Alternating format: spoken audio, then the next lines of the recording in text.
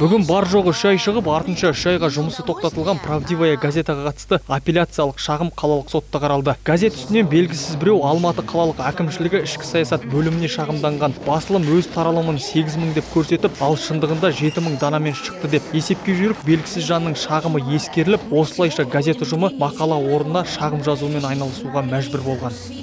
Я еще прошу вас обратить внимание на закон о предпринимательстве. мен сіздің кәсіпкерлік туралы заңға назар аударуыңызды сұраймын біз шынында да бар жоғы үш ай болды жұмыс жасап жатқанымызға біз қалай өз алдымызға дербес бола аламыз егер бізге қысым жасала берсе сондай ақ газетті тоқтату оқырман азаматтардың құқығын таптайды нақтырақ айтқанда конституциядағы жиырмасыншы бапқа қайшы газеты влечет нарушение прав и законных интересов граждан. Бар жоғы 10-15 минутқа созылған сот отырысы жылдам аяқталды. Прокурор алмаз демесінов мамандандырылған ауданаралық экономикалық сот шешімін өзгеріссіз қалдыру керектігін айтты. Сотта сол пікірде болып шықты.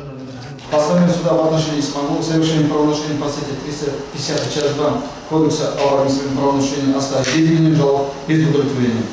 Дат жобасы арқылы шыққан оңдаған тәуелсіз басылымда қызмет еткен бақытгүл мәкібай правдивая газета басылымындағы бүгінгі жайды көріп өткен жылдарда қалған тар жол тайғақ кешулерді еске алады. Бұл биліктің таптаурын болған әдістері белгісіз біреулердің шағымымен саяси басылымдарды жабу алайда ол белгісіз адамдардың белгілілердің тапсырмасын орындайтыны хақ дейді.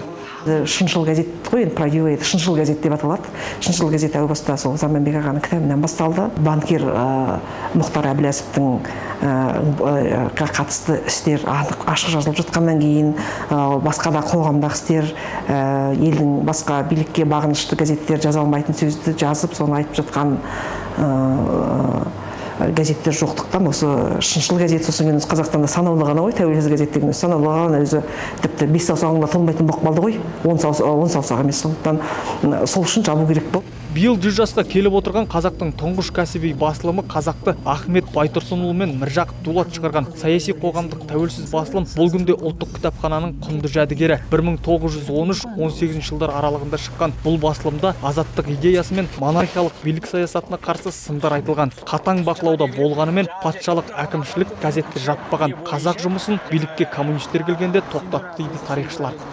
Қазақ газеті сөз жоқ патша үкіметі кезінде бірде бір рет жабылған жоқ. Бірақ ол жабылмауы бірінші ең бастысы мынау кімдердің газет шығарушылардың олардың өте бір сақ әрекеттері болды біріншіден.